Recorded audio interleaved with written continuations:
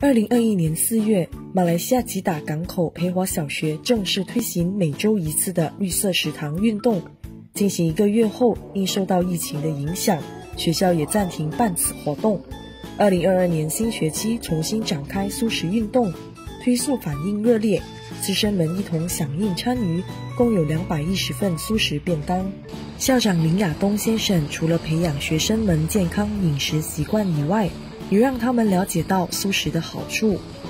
虽然是说素食，有的孩子还是吃不是很习惯，啊，但是呃，我们尽量的就是鼓吹，啊，孩子们呃多吃素，啊，因为吃素呢有很多好处了，啊，我们像是这个疾病呢，啊，就是因为吃了很多这些我们所谓的垃圾食物啦，它这个讲解这个健康的好处之外呢，呃，也希望说呃。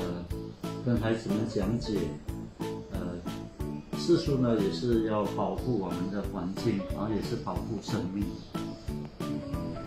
志工黄玉珍向校方推广素食活动，获得了校长的认同。透过社交群组，他与食堂厨师讨论素食菜色食补，也让学生可以吃得开心。去年我们人文学校就推行这个素食。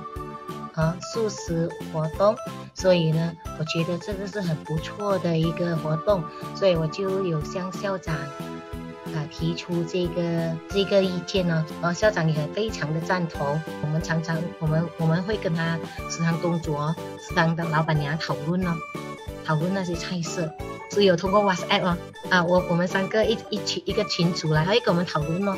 他说他要煮这些，那么我就写 OK，我讲可以啊。有时候他会，他说偶尔他会换哦。学校食堂厨师以一颗欢喜心准备素食便当盒，再把饭盒个别送到教室给学生享用。每个星期是大概要煮两百一十分的样，给孩子吃的，觉得给他健康开心，要培养慈悲心，要对本身也好，煮的也很开心这样。美味可口的爱心素食便当盒。让有族同胞艾丽莎有所期待。请问这个呃素食餐盒合你的口味吗？非常合我的口味。那么你会不会期待每一个星期星期四的素食的餐盒？会，因为我特别喜欢吃素，因为吃素对身体有益，而且可以避免吃生命被牺牲。除此以外，学生程楚贤用环保餐具来享用美味便当盒。我觉得很合我的口味，我已经吃了。用环保的餐具可以不用用一次性的餐具，这样就可以减少垃圾的污染。